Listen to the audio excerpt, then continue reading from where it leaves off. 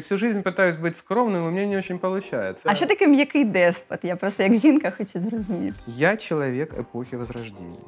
Ви відчуваєте себе більше митцем чи дизайнером? Папку брось, попадешь или в модель, или в модельера. Розумна людина може бути оптиміст. Для того, чтобы придумывать шмотки, достаточно просто таланта, много ума не надо. Дизайнеры лажают. Лажают они очень сильно, а вы за это отвечаете своим карманом и кошельком. Ой, сейчас это модно, надо пойти посмотреть. Що ти за треш? Який бамонт, такой и трэш. Я хочу большую куницу. Большую. Ми сьогодні на контрасті.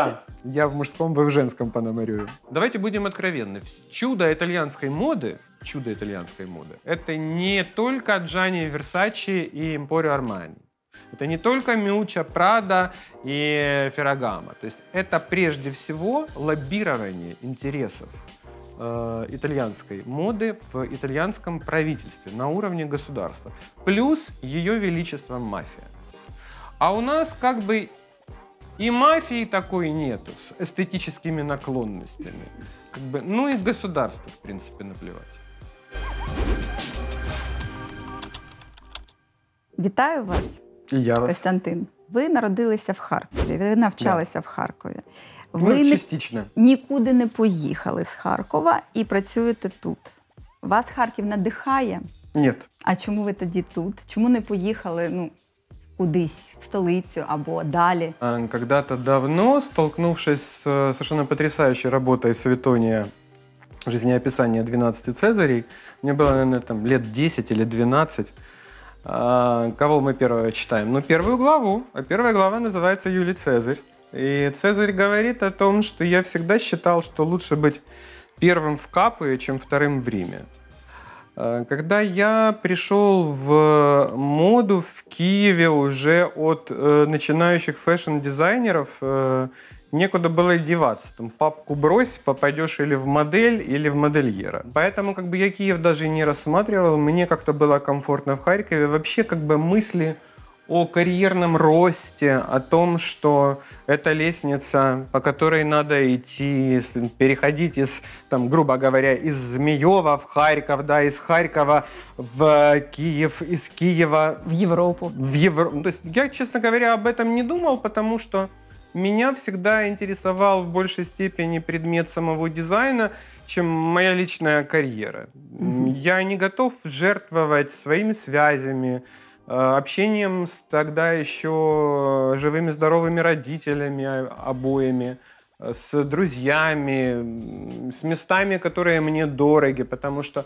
понимаете, что такое? Знаете, как в свое время кто-то спросил Салаха Дина, что для тебя Иерусалим? И он сказал, ничего. И все. Вот для меня, наверное, то же самое Харьков. Ничто. И все. Мало того, вы знаете, я потом, много лет спустя, извините, что это немножко не в тему, я себя поймал на том, что мне страшно похож на Харьков-Милан. Убираем как бы э, там Пьяцца Ди Дуомо, да, Ага. убираем там галерею Витория Мануэла, Яка там закрываем Ласкала. Так. И вот Милан вылитый Харьков, поэтому вот мне, Ну, в, індустріальне місто. мне в правильно? Милане комфортно и не сильно интересно. Но, э, кстати, если кто не знает, сразу говорю, это успели до всех этих коронавирусных дел в этом году. А В Милане Миуча Прада э, открыла совершенно потрясающую э, фундацию. Это музей современного искусства.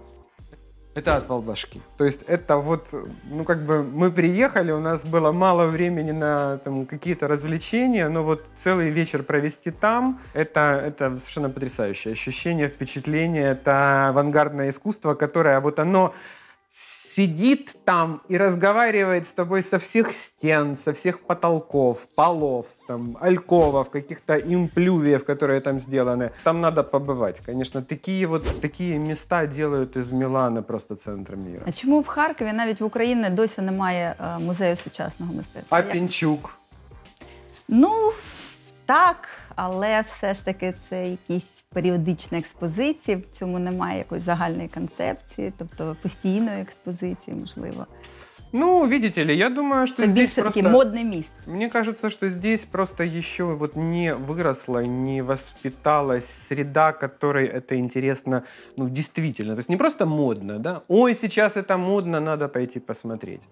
А так, чтобы это было все органично. Ведь все, ну, все должно быть органично. Видимо, эта органика еще не возникла. А Харків це комфортне місто. От зараз на всіх банерах можна побачити Харків це комфортне місце для життя.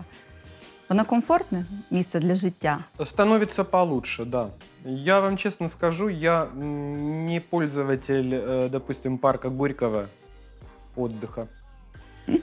И, э, допустим, сада Шевченко я крайне, крайне редко бываю в э, этих местах. Я передвигаюсь, э, это либо машиной, либо метро. Ну, как человек, который побывал в метро во многих странах, да, могу вам сказать, что, ну, действительно, у нас оно и маленькое, и компактное, и удобное достаточно. И ветка, по которой я иногда езжу, она меня просто вдохновляет, потому что она очень молодежная, мне есть на что посмотреть. Мгм. Как бы эти картинки, картинки города имеют значение для меня. Ну и для меня, конечно, имеют значение дороги, потому что, ну, второй, вторая форма, по которой я передвигаюсь, это за рулем. И дороги становятся все лучше и лучше, поэтому да, конечно. А Харків е, це модне місто. Ну тобто люди, жінки, вони одягаються тут модно. Понимаете, в чем дело? Я, наверное, все-таки немножко не тот дизайнер, который рассуждает с точки зрения и категориями моды, да. И потом, смотрите, Оль, дело в том, что мы с вами живем в эпоху, когда э, из моды ушел диктат тенденций, когда мода уже не рассказывает нам, что если ты не вот только в таких штанах или такой в юбке, и только вот с такими плечами, а не такими плечами, и если вот это не так, то ты лошара. Нет, как бы мода уже такими категориями не оперирует ни в коем случае. Она сегодня выступает такой вот многоликой средой, через каждого из э, дизайнеров. Потому что, смотрите, даже мы потеряли необходимость в термине модельер. Мы говорим fashion-дизайнер, и мы говорим fashion, а fashion это не совсем мода. Это в большей степени среда, это в большей степени антураж, а не тенденция к чему-либо. А fashion це середовище чи індустрія? Ну, я считаю, что это прежде всего среда. Прежде всего, потому что, ну, именно эта среда рождает индустрию. Или наоборот. Ну, в Харкові от, творче середовище, більшою мірою молодь. Ну, вона вас надихає. Меня могут вдохновлять самые разные вещи. С- Вот сегодня, ну вот на сегодняшний день, если уж как бы мы об этом говорим, меня очень сильно вдохновляет опера. То есть мне это интересно. То есть я занимаюсь м, Пока, пока что это делается немножко для себя, немножко для театров. Э, Я занимаюсь костюмами к спектаклям. Мне интересна та опера, которую у нас не знают и которые у нас не видели, потому что все знают Кармен, все знают там Евгения Онегин, да, но оказывается, что есть такая опера «Электро» работы великого Рихарда Штрауса, как бы, ну, большинство публики не знает. А стало быть, э, Бакст в свое время не нарисовал к этому костюмы, а значит, есть возможность Творити. для творчества, да. То есть для, м- для меня сейчас интересно вот это, меня- вот это меня вдохновляет. А розкажіть свої проекти для т- театру. Я знаю, що ви і прім одягаєте Ну, нашої это- східопери. Да, это как бы наше личное отношение с Антониной Радиевской. Мы с ней любим друг друга э, и как э, творцов, и как людей. Как бы я одеваю ее с удовольствием. И то, что вот в мои руки попа- попало вот это вот божество, и это божество каждый раз довольно, это просто какое-то чудо. И, конечно, я всем этим наслаждаюсь. У нас сейчас э, большая, большой проект с резиденцией из Хидопера. Э, он такой вот оперно-концертный. Э, ну, не уверен, что я могу как бы сейчас об этом э, говорить в полной мере, потому что я здесь лишь один из участников этого проекта и занимаюсь действительно вот сценографией и костюмами. У нас большой проект, опять-таки, с теми же ребятами с резиденцией по э, созданию первой украинской оперы, которая пишется практически онлайн у нас на глазах. То есть выбирается из огромного количества либрет, конкурсом выбирается либретто, также подбирается музыка, такой же конкурс среди всех, среди сценографов, среди художников по костюмам. Это очень интересно. Это первый такой опыт, ничего подобного в мире не было никогда, потому что мы все понимаем, что это синтетическое искусство. И знаете как, вот ну, в наше время считается, что автор у оперы композитор. И мы все знаем, что кто написал Роберт Дьявол? Ну, понятно, Мейербер. И никто не, на сегодняшний день не говорит о том, что автор либретто – великий скрип, который написал «Стакан воды». На сегодняшний день вот э, резиденция Схидопера, они пытаются внести справедливость в этот процесс. Опера синтетическое искусство, у нее много авторов. Здесь надо говорить и о том, кто создал либретто, кто создал музыку. Автор костюмів. Кто создал тобто, костюмы, звичайно. безусловно, сценография. То есть это все имеет значение. А яке місто в Україні воно більш європейське для вас? От про архітектуру і про людей. Вот вы будете удивлены, это Харьков. Да, потому что Так, я трохи здив- здивована. Э, Да, на мой взгляд, это ну, как бы очень сильно похоже. Опять-таки, во-первых, явное сходство с Миланом. Во-вторых, огромное количество э, иностранных студентов, что тоже очень украшает э, любой мегаполис. Не так много этих дешевых столичных понтов, как в Киеве.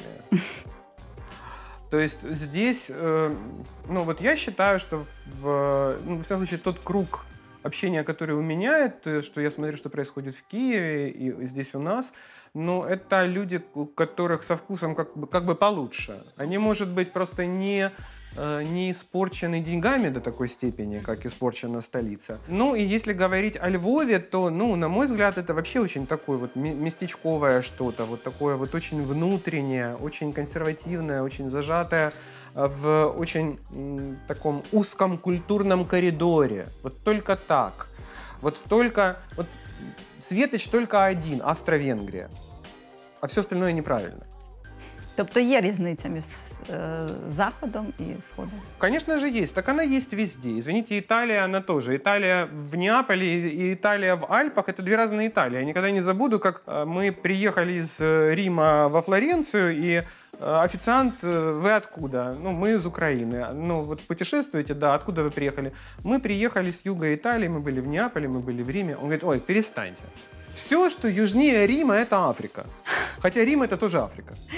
Это сказал официант в- на севере во Флоренции А чому так? как Италия совсем недавно как бы возникшее единое государство, как Германия совсем недавно возникшее единое государство.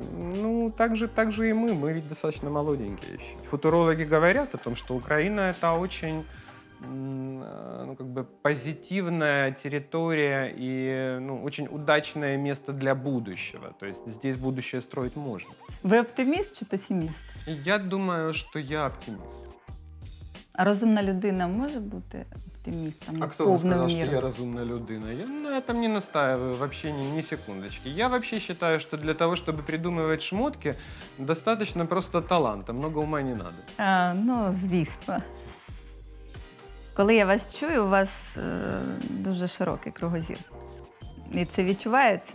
Ви багато читаєте, ви знаєте історію моди, ви культуролог, тобто ви людина, яка про сенси, про філософію моди, а не просто про е, ремесло. Мне это интересно. Мне это интересно, и я в это погружаюсь. Конечно. Мне то, что мне интересно, как бы я в этом хорошо ориентируюсь. Ви е, більше художник, дизайнер, автор костюмів, тобто автор.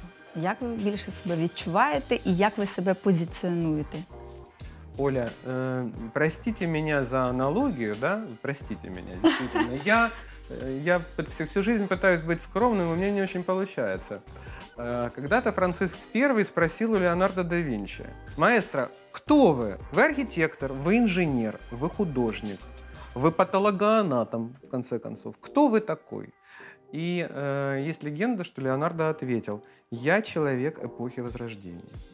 А ви людина якої епохи? Я вот думаю, что я тоже очень ренессансный, потому что, ну вот мне все интересно, и я г- с готовностью берусь за все, когда в, тысяча... Господи, в тысячу. в 2008 году меховая компания «Черевни Худ» рассказала мне, а ты можешь нам придумать меховую коллекцию? У меня до этого не было мехового опыта вообще, я про меха не знал ничего. Я с честными, чистыми глазами сказал, да, могу. Ви знаєте, що в мене є шуба від Костянтина Пономарьова? И как? Вона руда, е, там норка разом з чорнобуркою. Вона розкішна. І я її рідко вдягаю, тому що я більш європейська, але ну, якщо мені от, дійсно е, я прагну е, призвести таке враження, так, то я її вдягаю. Ну вот, Оль, Для ну- особливого такого с- випадку. Я очень рад это слышать. Спасибо, что вы об этом говорите. На самом деле, ну так и есть. Шуба это не на каждый день. И, кстати говоря, о Европе. Мне как-то повезло случайно прогуливаться перед э, дворцом Гарнье в э, Париже, который в нашей лесополосе почему-то называют Гранд-Опера, хотя французы очень удивляются, когда так, так его называют, потому что ну, Гранд-Опера — это стиль, как бы, это не, не здание. Ну, это просто Парижская национальная опера.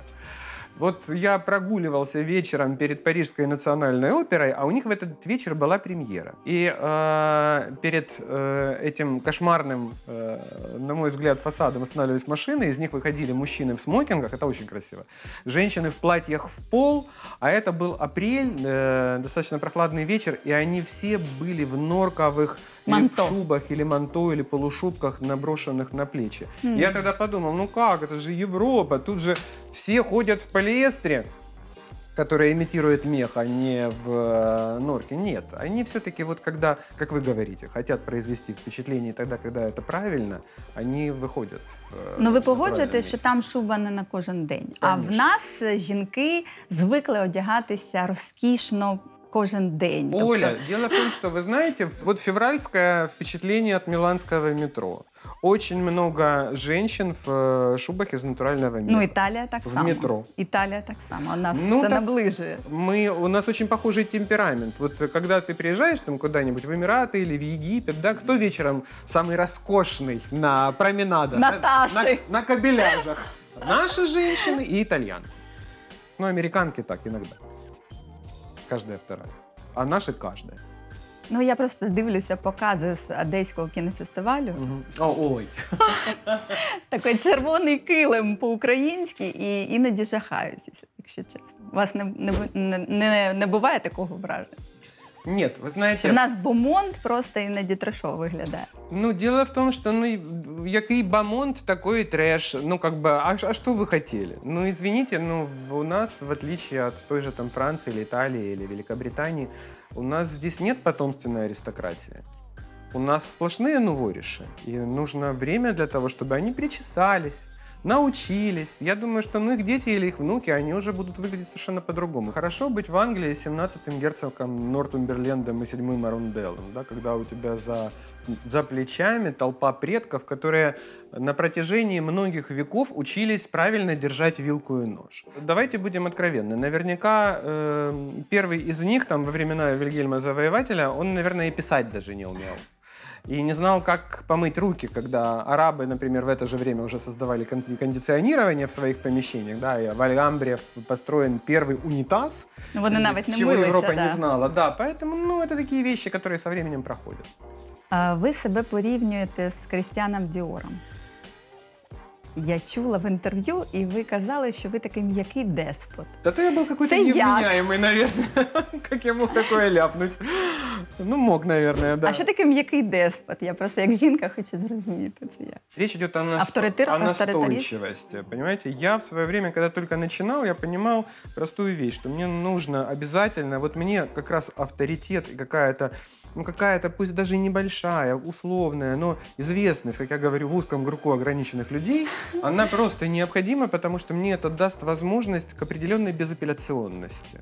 А иногда она требуется, потому что, ну вот исходя из того, о чем мы говорили, почему, почему одесская дорожка красная, она вот такая, потому что, по всей видимости, не хватило энергии, не хватило слов вот у тех деспотов, которые в Одессе, которые их одевают, для того, чтобы настоять, для того, чтобы объяснить, что да, будем шокировать, но будем это делать вот немножко по-другому. Или иди сначала похудей, или научись это носить, как минимум порепетируй, потому что вот, кстати, мы когда, ну вот в этом году этого опыта не было, потому что был карантин, а вообще обычно весна это всегда преддверие выпускных вечеров. Я очень это люблю, потому что это вечерняя тема, эти шлейфы, эти открытые плечи, я люблю все это. Мы всегда стараемся девочкам пораньше отдать вещь, потому что я всегда настаиваю, научись это носить. Э, Не зря же в Японии девочек 10 лет учат э, шить кимоно, а потом год учат его надевать и говорят, что они потом всю жизнь учатся его носить. А взагалі відчувати себе в одязі, в сукні це важливо. Ну, наприклад, от е, в мене там перша а, якась е, трайаут. Да? І а, я не відчуваю, що це моє. Може, бу- бували у вас такі ситуації, і як ви виходите з них? Тобто, вам а, ви нав'язуєте якось? Тут ви деспот, Дело в том, что, Оля, вы понимаете, когда у человека нет этого опыта, вообще нет, вам в руки попадает там 17-летняя красавица, у которой нет опыта э, ношения да, вечернего коктейльного платья. Э, Инстаграм дает картинку, но он не дает ощущения. И Здесь это очень важно. И, ну, как бы, чем хорошо то, что мы делаем? У нас иногда вещь от эскиза до реального воплощения, проходя через примерки, она может меняться, трансформироваться. Потому что вдруг в какой-то момент мы понимаем, что девочки, вот это вот не, это не ее, она не сможет, она не выносит, она не выдержит. Это надо быстренько перемоделировать. И у нас есть такая возможность. То все ж таки Мы в процессе можем... ви да. своє бачення а, ну, для вас е, є більш авторитетним, аніж її забаганка. иногда приходят с очень конкретными пожеланиями. И в силу того, что э, человеку все-таки в этом как бы жить, это носить, и, наверное, как бы она об этом мечтала, мы всегда дискутируем, всегда. Но мы всегда стараемся следовать все-таки немножко вот ее каким-то пожеланиям. Но какие-то вещи, которые идут ну, сильно в разрез эстетики, да, мы от них отказываемся. От я до вас прийшла за, од- за однією річчю, так? Такою більш спортивною, креативною. а Ушли ви с ж двумя другими. абсолютно це для жінки взагалі, напевно, типова ситуація. Ну, да, такое бывает. И это нормально. Вообще, как бы, я считаю, что прелесть... Це, до речі, сукня легкомисленності. Костянтина Пономарьова. Да. Похизуюся трохи. Это, кс- вот, вот, кстати, вот это вот все тоже, это все Константин Пономарев. Ми сьогодні на контрасті. Я в мужском, вы в женском Пономареве. У Крістіана Діора, якщо ми про, про нього були музи, ну звичайно, як у будь-якого дизайнера, наприклад, Марлен Дітрих. Так? А у Сен Лорана це була, наприклад, е, Катрін Дітньов чи Палома Пікассо. У вас є муза? Есть женщины, которые очень сильно меня вдохновляют. Поэтому я не могу не сказать, что да, это и Антонина Радиевская. Это совершенно потрясающая Александра Руть, хозяйка пробки и пивобанка. То есть это, ну, это действительно очень, очень, очень яркие, колоритные женщины. И смотрите, на самом деле, вот Саша, Тоня, извините, это не про вас, но должен сказать, что здесь вопрос не в красоте. Это вопрос какого-то очень внутреннего стержня и содержания. Вот когда он есть, то да, как бы это, это почти всегда чья-то муза. Тобто сукня несе все ж таки те, що всередині. Она, да, все-таки это, это больше рама. Это больше рама вот э, того шедевра, который внутри. А, а чоловіки вас надихають? Ну, вы знаете, крайне редко. Нет. Э, при всем при том, что э, ну, я абсолютно бисексуален в своем творчестве. Мне очень нравится заниматься и мужчинами, и женщинами. Эм, муз, нимфов, да, среди мужчин нет, у меня нет. Угу. А покази чоловічі, звичайно, є? Да, а, мы сделали несколько мужских коллекций, был очень интересный опыт. Кстати, с одну из них мы возили во Львов, и Львов меня тогда поразил просто своими моделями.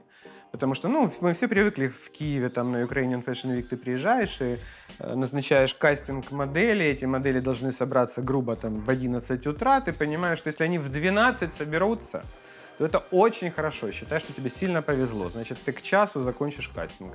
У нас был на 10 назначен э, кастинг с львовскими парнями. Э, мы потихонечку туда ехали, через какие-то кофейни, через шоколад, не спеша, по кошмарной совершенно львовской брусчатке. И мы приехали там в 10.30 грубо, а они все на месте. И они все ждут. И они все так на меня смотрят, что Чому ви запізнюєтесь?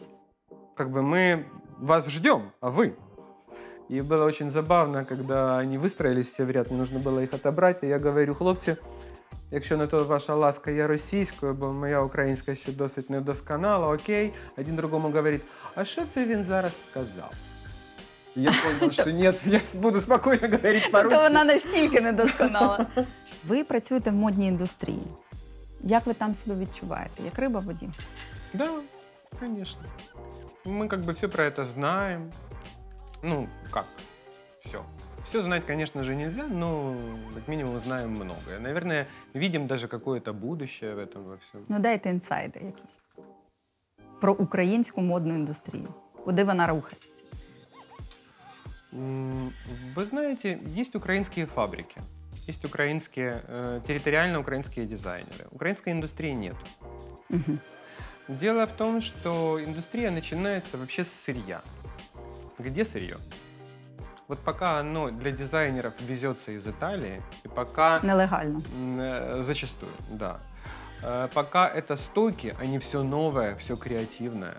Э, до тех пор, пока нечеловеческими усилиями Александр Соколовский пытается создать индустрию, текстильную индустрию в Украине, ну, он только идет по этому пути. Пока ничего этого еще в завершенном виде нету, говорить об индустрии очень рано. А можете назвати топ-3 дизайнерів українських, які для вас є знаковими, можливо? Мне всегда была интересна Лиля Пустовик. А, мне всегда был интересен ее стиль и то, как она в недрах этого стиля развивается. Но, следя за нею много лет, э, я понимаю, что вот ее верность стилю и, допустим, верность своему стилю у Лагерфельда – это вот по оси Y это две совершенно разные верности. Поэтому Лагерфельд мне всегда будет интереснее, несмотря на то, что его уже с нами нет. Назвать кого-то еще, ну, вы знаете, я ко всем очень хорошо отношусь. И я переживаю, что, ну, я не назову там Люду Кисленко, да, или не назову там еще, еще кого-то там. И они обидятся. А в чому феномен Ксенії Шнайдер? Як вона потрапила до Вог? А, Ксении кто? Шнайдер. Даже не знаю, кто это. Зрозуміла. Ну, це нормально. Вона молодіжну моду. ну, опять же, вот молодежная мода, да? Да ну нет молодежной моды.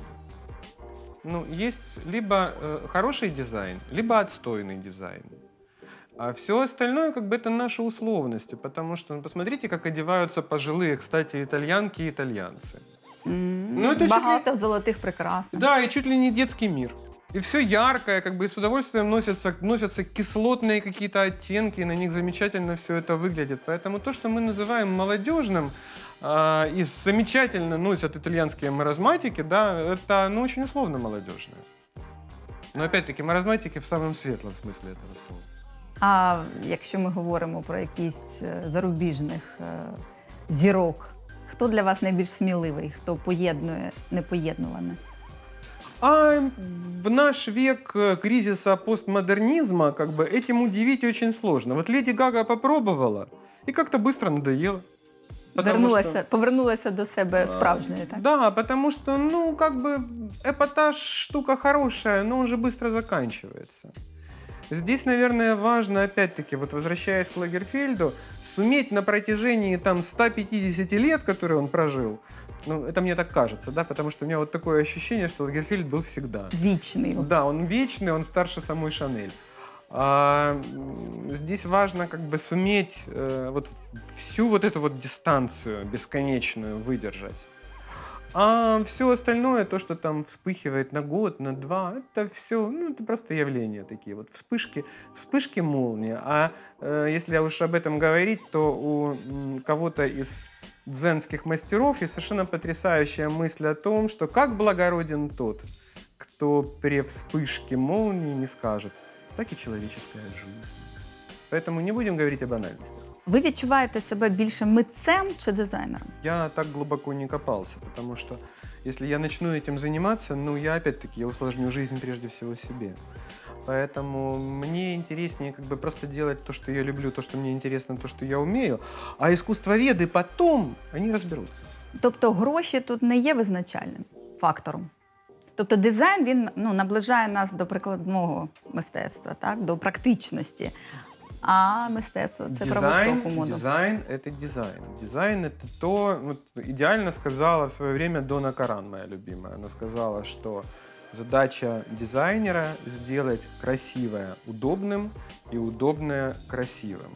И, собственно говоря, когда она это сказала, она перечеркнула э, весь 20 век, век модельеров. То есть на этом вот модельеры заканчиваются и начинаются дизайнеры, потому что мы вступили в ту эпоху, когда э, скорость э, имеет значение, когда в один клик важнее, чем давайте пос- перенесемся в правый верхний угол этого платья, посмотрим. Нет, уже, уже сейчас это пока что не работает. Тобто більше прості дизайни, аніж складна висока мода.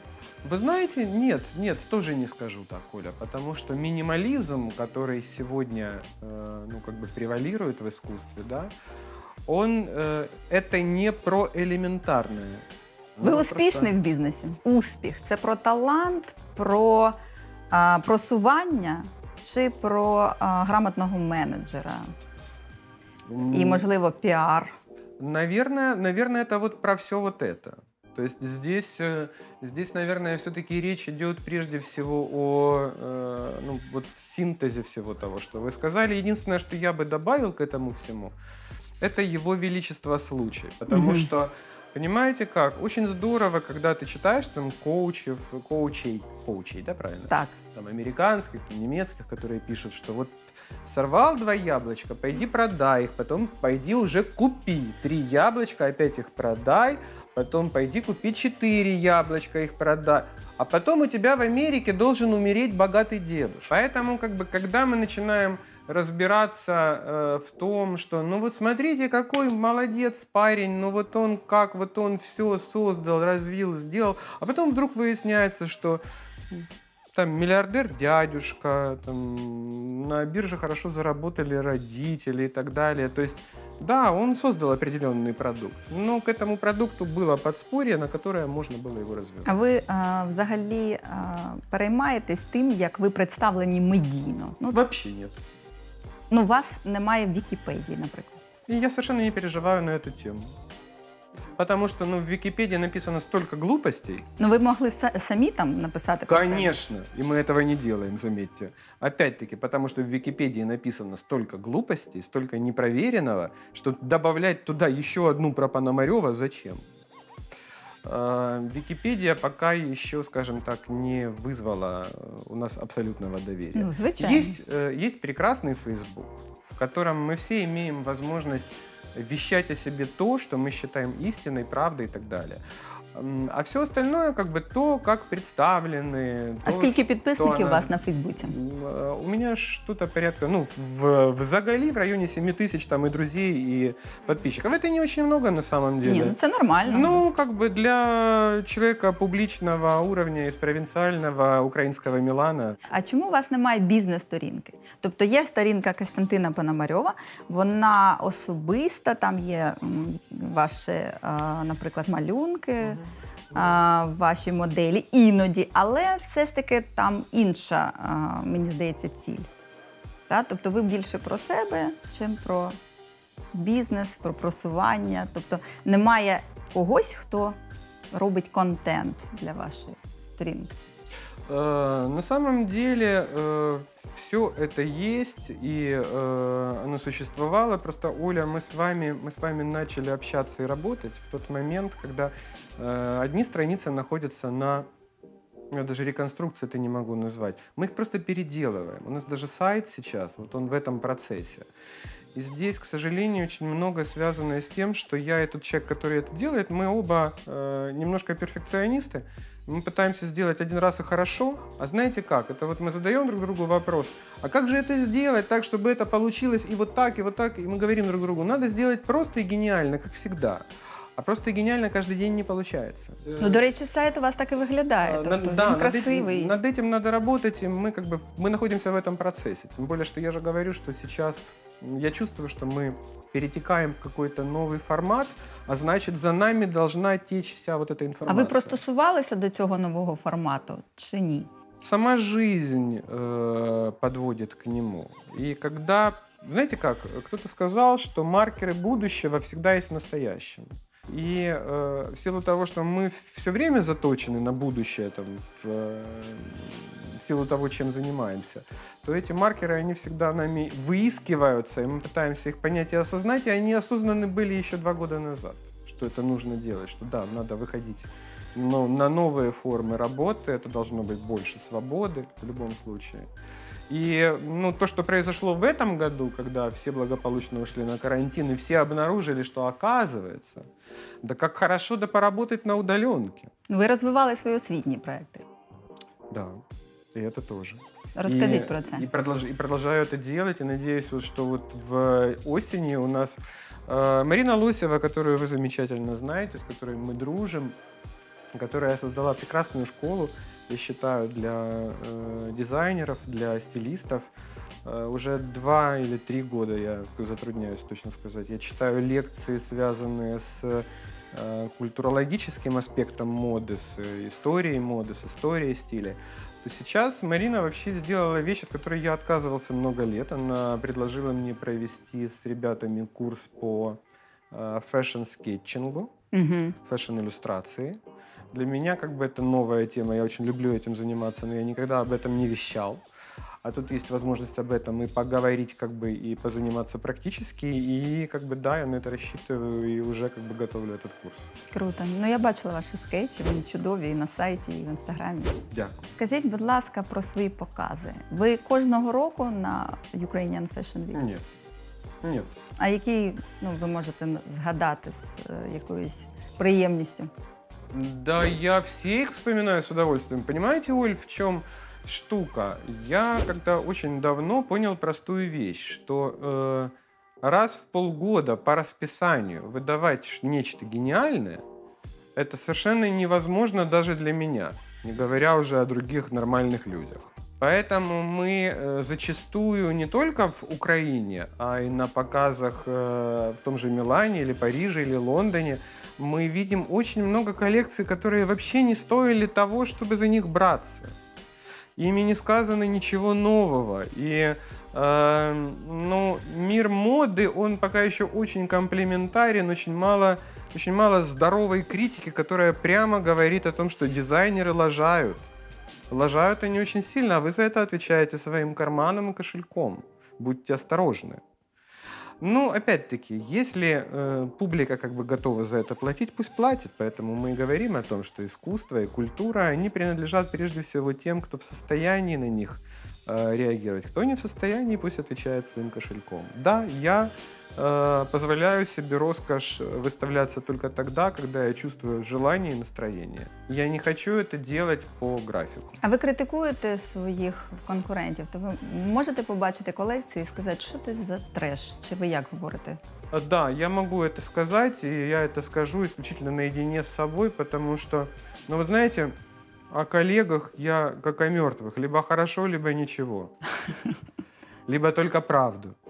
Їм в очі? Наверное, да. Поэт- Поэтому как бы э, я сразу позиционирую себя прежде всего как художника, а не как критика, да.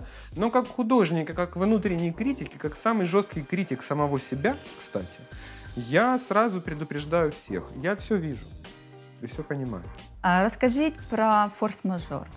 Що це була за колекція така, яка Фурс. Это фурс-мажор. Так, я ще розумію, що там гра слів. Да. Як форс-мажор і Форс-мажор, фурс-мажор. да. Да. Вона мажорська. Ну, да, и она, она мажорская, потому что там, ну, очень мажорский материал, который там действительно коллекционные, уникальные были меха. Это правда. Э, Форс-мажор, потому что она была сделана действительно в кратчайшие сроки. То есть за три месяца сделать такую работу, ну, это вот сейчас, там много лет спустя, я понимаю, что это мы работали в каком-то совершенно невероятном ритме. Ну и фурс, потому что, да, это, это был мех. А скільки коштувала найдорожча?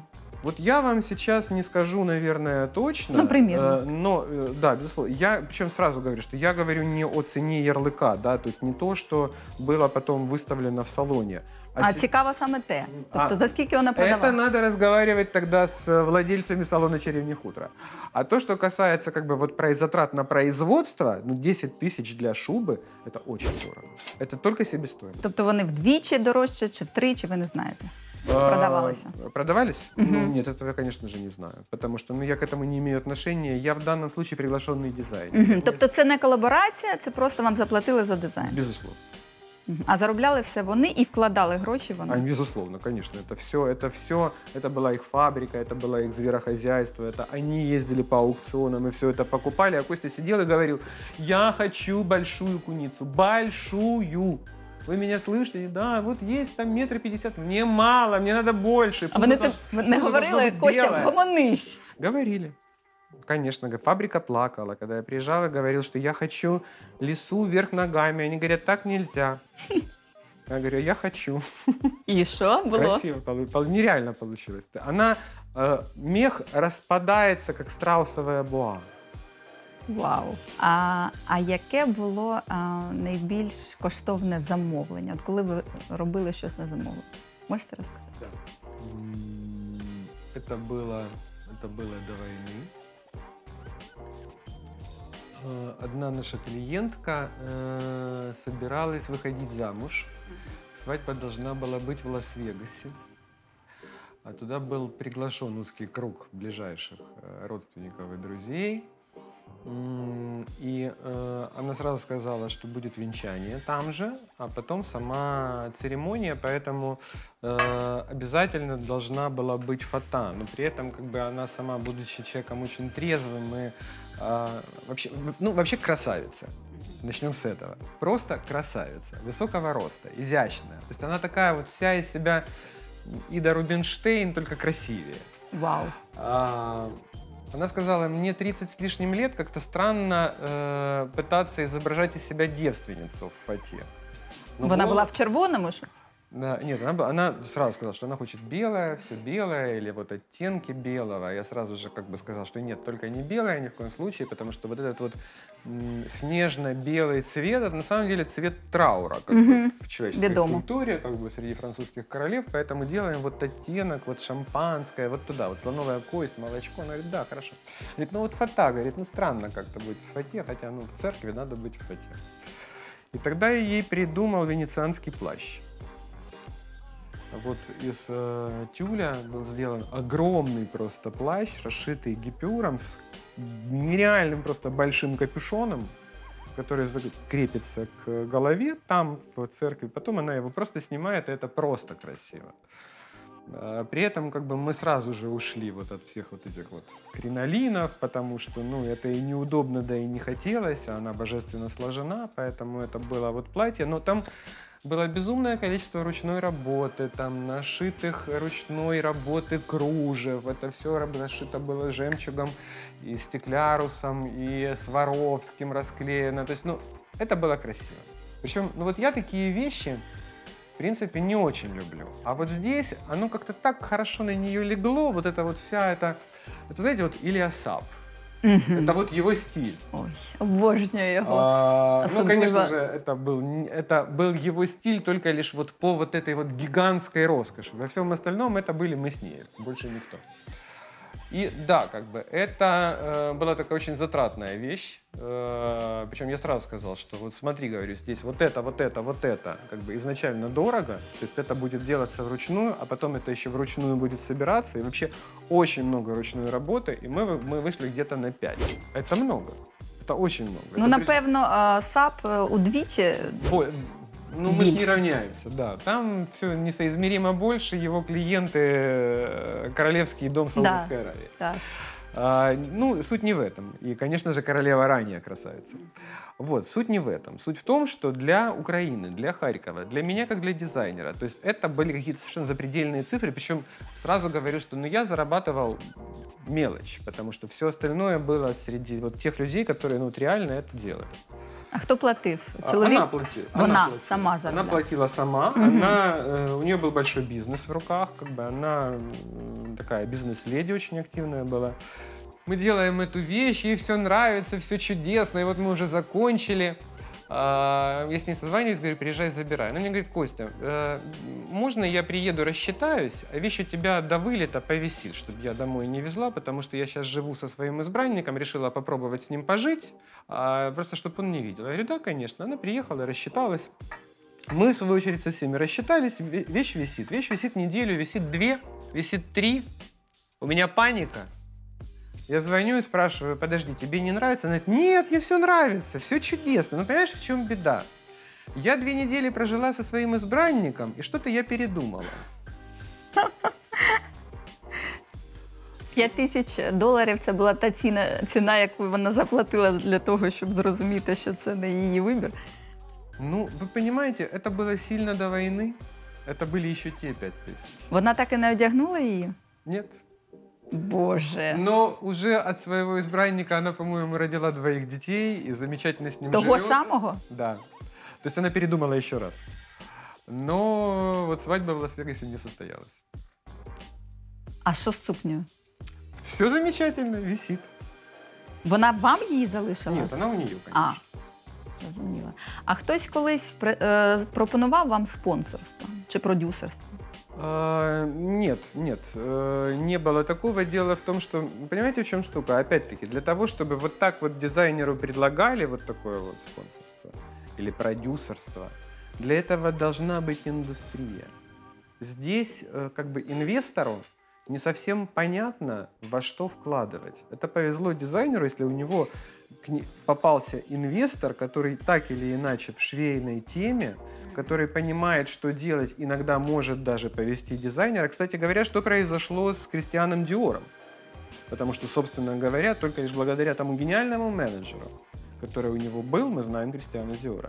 То есть, если в Украине складывается такой тандем, ну, тогда да. А є время- такі приклади? Наверное, да, я не знаю. А влада колись е, замовляла вам щось пошити? Вы знаете, я вам сейчас скажу такую вещь, которая, м, может быть, вас удивит. М, Я бы не стал бы никого из них одевать. Я вообще считаю, что... Ну, я искренне считаю, что слуги должны ходить в ливреях Ну, не являются они ну, кем-то уникальным. Они менеджеры, которые должны на нас с вами работать в идеале. Они просто этого не делают. Що ви вважаєте в житті найбільшим успіхом і найбільшим фейлом? Оля, вы знаете, м, м, я не смогу вам дать полноценный ответ на этот вопрос. Вот почему. Э, Когда-то давно, столкнувшись э, с интервью э, Тензина Гьяцо, 14-го Далай-Ламы, э, я просто был ошарашен м, мыслью, которую он сказал. Он сказал, что э, цель человеческой жизни состоит в достижении немотивированного счастья. Других целей нет. Тому і нема якихось И вот підйомів, піків, це Да, спадів. и, и вот с тех пор как бы моменты, связанные там с каким-то... Знаете, ис- успех всегда ведь сиюминутный. Все ведь дизайнеры, я в том числе, все мы прошли через грандиозный успех, через цветы, через поклоны на подиуме. То есть все, все это, конечно же, было у всех. У всех были э, моменты каких-то невероятных финансовых трудностей, когда посреди работы над коллекцией ты вдруг понимаешь, все, денег нет. Это катастрофа. И с этим надо что-то делать. И э, вся наша жизнь, когда ты занимаешься, вот, э, когда ты работаешь в креативных индустриях, да, она, она вся вот такая. И не только здесь, не только в Украине. Это происходит повсеместно и по всему миру. И великая Шанель, и Диор, и Сен-Лоран, они сталкивались с теми же. Сегодня ты можешь быть зашвырен цветами на подиуме, а завтра тебе нужно реагировать на счета.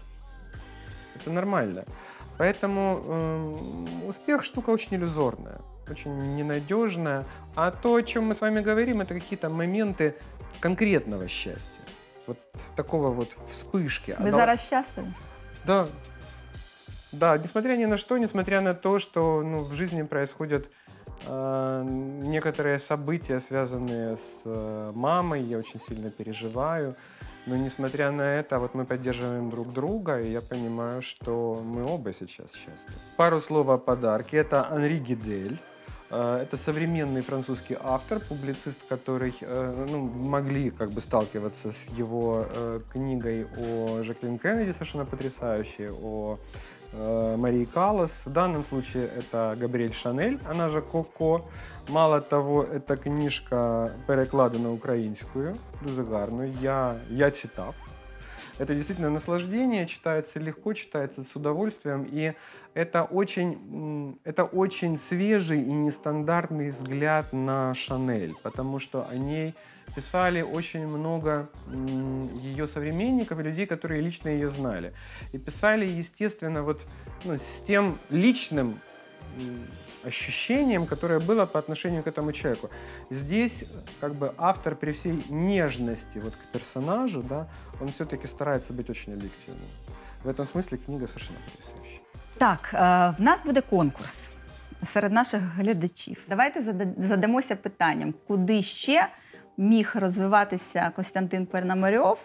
І що ви порадите йому для того, щоб е, вийти на новий рівень Своєї творчості, е, своєї е, відомості в Україні, і для того, щоб е, ну, вийти на той рівень благополуччя, щастя, який дозволить вам творити, не думаючи про завтрашній день. Помните, как Алиса Фрейндлих сказала, прекрасный тост. Пишіть в коментарях, підписуйтесь на наш канал, ставте лайки. Дякую вам. Спасибо вам.